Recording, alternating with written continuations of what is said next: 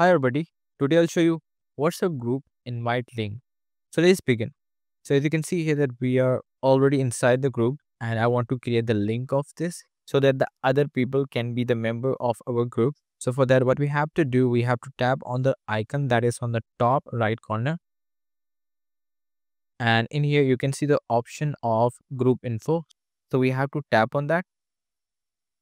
And here we will need to scroll down and you will be able to see the option of invite via group link. So we're going to tap on that.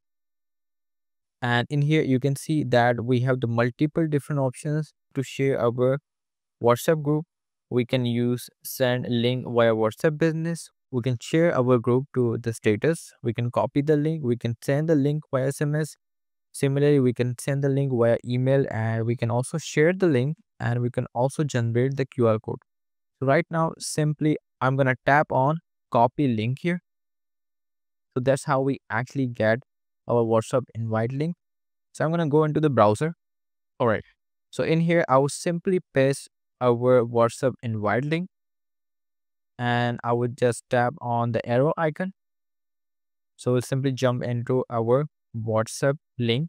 And you can see here, we have got our group invitation based on our invite link and if I just tap on join chat, I will be able to join our WhatsApp group.